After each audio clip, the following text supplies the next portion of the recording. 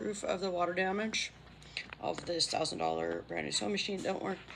And um, these came out of that drawer and they got wet and water damaged as the sewing machine was left outside for a month.